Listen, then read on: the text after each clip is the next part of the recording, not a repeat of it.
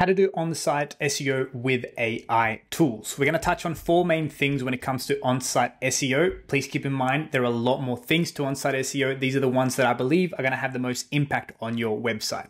It's going to be design, loading time speed, the metadata, and image SEO. We're going to need a few tools to do this and analyze this correctly, and don't worry, they're all free.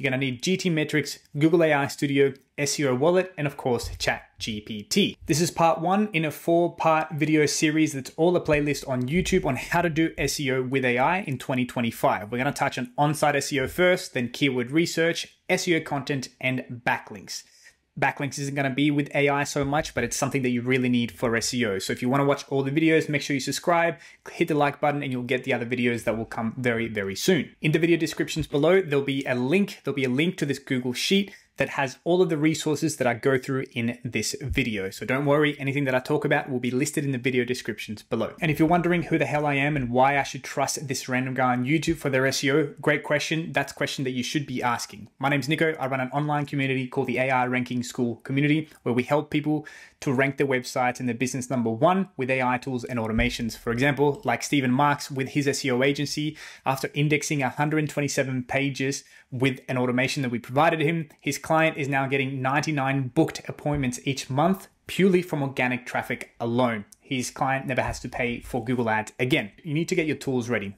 GTmetrix, Google AI Studio, SEO Wallet, and of course, ChatGPT. For this video, we're to use we're going to use this website, which is Ethical Dog Training. This is a dog training business working out of Melbourne, Australia. This is important to know so we can amend, so we can audit this website correctly. The first thing that we need to understand is design, and more importantly, design that aids conversion, that will increase the conversion rate of your website. I have a saying that I need to put on a t-shirt that is never underestimate stupidity in large numbers, particularly in the internet. It sounds mean, but what I mean here is that you need to make it stupidly simple for the user to understand what action they're supposed to be taking the second they land on your website. And that's both on the desktop and the mobile perspective. Arguably, mobile is even more important.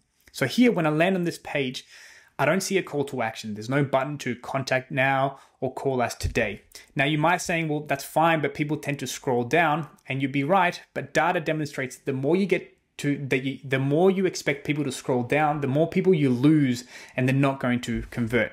So when we scroll down, we see finally here, read more, but we don't even see the contact us now button. So that call to action is not the best. If we scroll down again, we start seeing how they work, and now they've got testimonials. You really want that on the homepage of your website if you've got them as well. And then finally, we get the first call to action here, which is a little too late.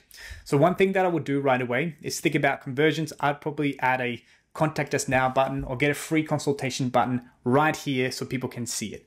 Call to action CTA. You're going to be you're going to be hearing me say that quite a bit in this video. So let's say you you've never looked at a website from a conversion rate perspective and you don't really know how to even approach it. Well, what we're going to do is we're going to use Google AI Studio. In Google AI Studio, once you make an account, which is completely free by the way, I want you to click the stream real time and I've left this prompt here ready for you. This prompt just turns Gemini into an expert SEO. You're going to leave that in the system instructions. Once you've got that prompt ready, you're going to click on share your screen. You're going to do entire screen and go here. And then we're going to go to our website. Uh, hey, Gemini, can you hear me? Yes, I can hear you. I see you've navigated to the website ethicaldogtraining.com DOT.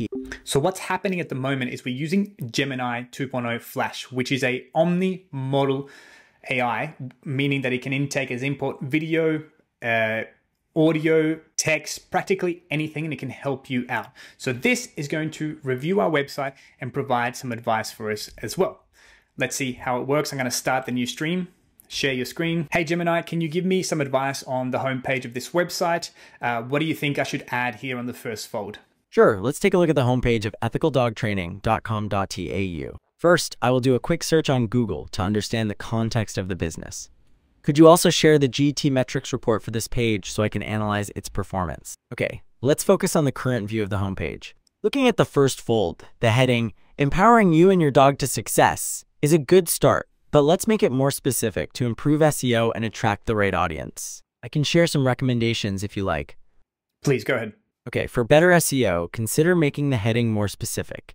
Instead of empowering you and your dog to success, try something like ethical dog training in your city slash region, leash reactivity and obedience experts. This targets local searches and includes keywords like dog training, leash reactivity, and obedience.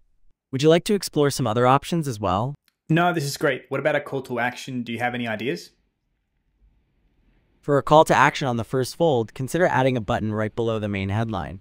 Something like book a free consultation or view our training packages would encourage immediate engagement. Great. What you do mean, you think about that? You mean something like this where I'm putting the red box? Yes, exactly like that red box. It is a great visual way to make the call to action stand out and encourage users to take the next step. Perfect. Now you can see how this Gemini 2.0 Flash is helping me review the website. You can ask it questions back and forth, but make sure you have everything ready because you can only speak to it 10 minutes at a time. So let's continue uh, understanding the website here. It gave us some great advice about the metadata. And now that we've done the design perspective, let's have a look at that. Now, with SEO Wallet installed, this is a Chrome extension that is fantastic and it's free. We're going to go to the website here and we're going to understand if the metadata is correct. More importantly, the main keywords such as the title keywords, the H1s and the H2s. If we slide all our cursor all the way to the left, we're going to see this blue bar. That's the Chrome extension which we've installed. This is going to allow us to take a peek underneath the website, so to speak. And you can see here that the title tag just says Home Ethical Dog Training. It's good having your brand name, like Ethical Dog Training, for example, but the key word about dog training in Melbourne is nowhere to be seen. This is terrible from an SEO perspective. So I would probably change that uh, here, the title tag, to say Professional Dog Training Services in Melbourne, Ethical Dog Training, right? So that way Google knows that those are the keywords that you intend to rank. Also, the meta description is missing. Meta description is really important for your click through rate from the search engine results page to your website. This needs to be around ideally below 155 characters in length to be able to do one. Make sure that you have a good call to action in your meta description. Now, if we click the H1, the heading optimizations here, we can see what the headings are on the home page. The H1 just says your dog to success that's not clear enough. We need to understand your leash reactivity training or professional training services in Melbourne. The H1 should also mirror that keyword here. And now we've got the H5 service services for all breeds of dogs. That probably should be a H2 or H3. You need to think about make sure that you integrate those keywords that you want to focus on all throughout the website in the H1s and H2s. We can spend a whole video on this, but I just want to leave it there. Think about the main keywords that you want to rank for, and does your home page or even your services pages have those keywords as you think people are searching for it? Now, the next thing that we're going to look at is GT Metrics. GTmetrix. GTmetrix is a website loading time speed tool. It tells you how quickly or slowly your website is loading. Now, let's understand this first before we dive into it. When you go on a website regularly, modern browsers will save the files of that website locally. So somewhere in your website, somewhere on your computer, so that next time you go on the website, it can get those files a lot quicker. So for you, your website experience on your site might be a lot quicker, but it doesn't actually mean that your other new users to your website have the same experience. For example, this website is loading at nearly six seconds, which is way too slow. GTmetrix is a free tool that you can use to analyze your website. So once you go onto GTmetrix, you'll have this here. What I want you to do is place in your URL and go analyze. I believe you get a few free users a day. Uh, I've got the paid version, so I can do as much as many as I like. It's going to take a little while, and it's analyzing the website and seeing what is wrong with it from a loading time speed perspective. I can scroll down here and then it's telling me the key things that are resulting in a slow loading website. And I can see here that some of the main things are actually to avoid enormous work payloads. This just means that some of the files on the website are extremely heavy. Like here, one of these ones is a PNG, a very heavy image file. You don't need PNGs anymore on your website and you shouldn't at all. And it's telling us a way to do that, right away to do that. If you don't understand what any of these things mean because they're maybe just worded in a very technical manner, which is fair enough, I even have that problem sometimes. What you're going to do is you're going to share this and download as a PDF. You're going to get the downloadable PDF. Then in the files that are provided, you're going to click on the first link there. This is a custom GPT that I've built for you guys for this video. What I want you to do is just drop that PDF into this and hit enter. And it's going to give you an actionable step-by-step guide into what you should do and how you should fix this website. It's also telling you, well, what does this stuff actually mean, right? So it's telling me right away that the priorities that I need to fix. And it's telling me the, the solution is to compress the images like we talked about, remove unnecessary optimized images, optimize the videos by hosting them on YouTube and all these other things. I can defer off-screen images so I can implement lazy loading and it also even gives you the plugins if you've got WordPress there installed. It's not to say that only WordPress is the best SEO website. No, but it gives you advice for that as well. Uh, and here's the things that I really wanted to touch on. So serve images in a next gen format. Images have outdated format. Like I said, PNG or JPEG, you should convert images to a WebP. It also gives you other advice here and a summary checklist as well for you to follow, or you can give this to your web developer to say, hey, my website's slow, you need to fix this, here's how to do it. So now that we've gone through the design, the loading time speed, and the metadata, we're going to do the image SEO because that's what was actually causing a lot of problems with the loading time speed. So we're going to kind of kill two birds with one stone here image SEO, there's really a few fundamentals that you need to know. One, you need to make sure that the image is optimized itself. So let's go back to the GTmetrix report and understand which image was really heavy and causing the website to load slow. This one's the main one here. And if we take a look at it here, it's this one. So this is a heavy PNG, which we don't need. You need to convert this image into a WebP file and then re-upload it to your website.